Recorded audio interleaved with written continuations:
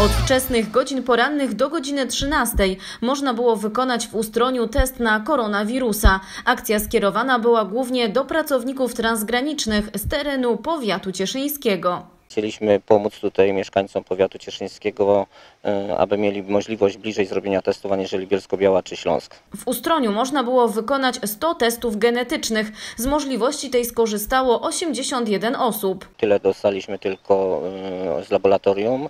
E, Jest to wyliczane, ponieważ tych punktów jest dużo, więc, więc jest to liczone te testy, aby do każdego punktu trafiła jakaś odpowiednia ilość. Badając koronawirusa mamy do dyspozycji dwa rodzaje testów. Jedne testy to są testy wymazowe, te, które się właśnie tutaj odbywają.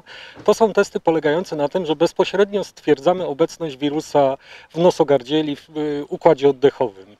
A drugi rodzaj testów to są testy, które robimy z krwi i to są testy, których badamy poziom przeciwciał. Czyli to jest sytuacja, w której wirus się pojawił w organizmie pacjenta. Po pewnym czasie powstają przeciwciała jako odpowiedź na, na obecność wirusa. I po pewnym czasie możemy badać tak około 3 do 7 dni obecność przeciwciał, które organizm wytworzył, tak jak mówiłem, na, na obecność wirusa.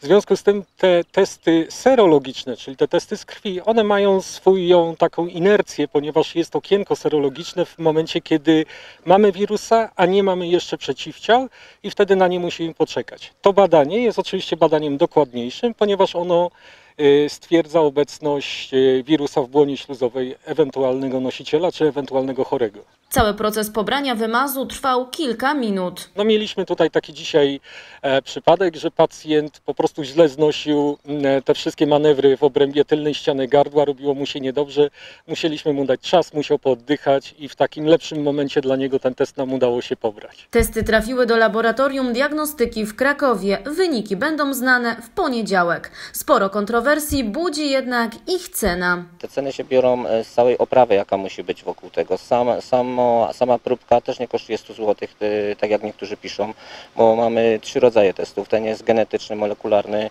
to jest ten najbardziej właściwy, ten, który wykrywa COVID, który jest rekomendowany przez WHO, e, który jest rekomendowany przez wszystkie kraje i który jest robiony też w szpitalach. Tak? To jest ten sam test i on nie kosztuje, proszę Państwa, 100 zł.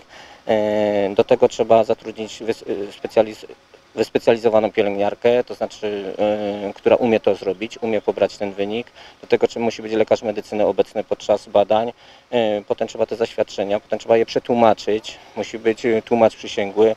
To wszystko kosztuje. Musi być rejestratorka, musi być, tak jak widać, cała procedura zachowana, więc to są wszystko koszty, które, które ponosimy, tak?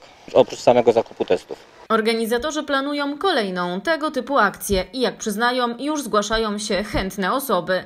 Dla portalu Śląska Cieszyńskiego XPL Marta Szymik-Telesz.